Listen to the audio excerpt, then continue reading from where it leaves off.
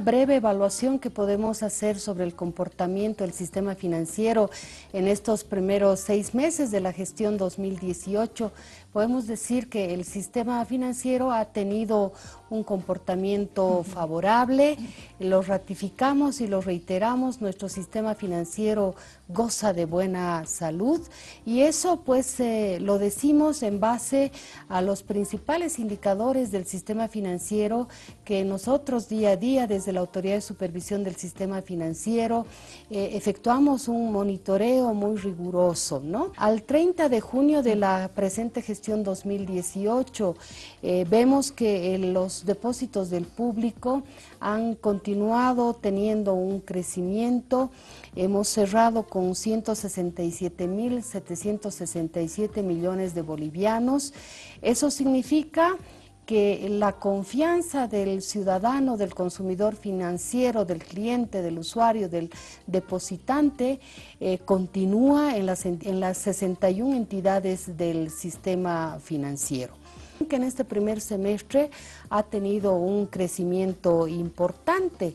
Habíamos cerrado el, al 31 de diciembre del año pasado con 152.061 millones de bolivianos y se ha incrementado esto a 160.744 millones de bolivianos.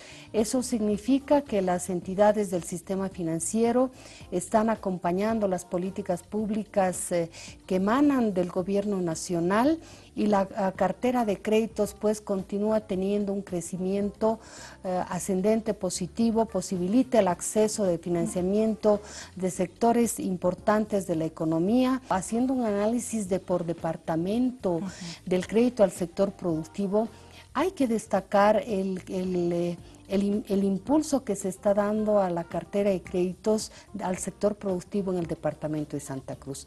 Del 100% de la cartera de créditos del sector productivo, que eh, alcanza a 104.518 millones de bolivianos, ese es el 100% de la cartera del total de los 160.744.